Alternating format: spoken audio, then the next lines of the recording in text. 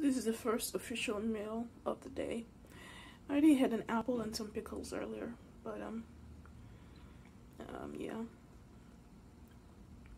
So those are eggs and that's sardines and in um there's two rambutans.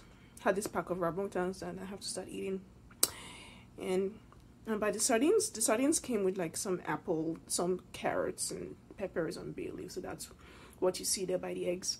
And then the next one you see pickles, which is like made from the pickles I made. I've seen a video of those making earlier. Um, it's uh, Japanese radish, daikon radish pickles. And then those are like the carbs, the, uh, the croissant. That's just a plain croissant and a chocolate croissant. Yeah, so yeah, this is my first meal. Okay, so this is round number two. Mango with sticky rice. So the presentation's a little better. I think compared to last time I got less I got less mangoes. But it came in a plastic something. That could be good or bad depending on your.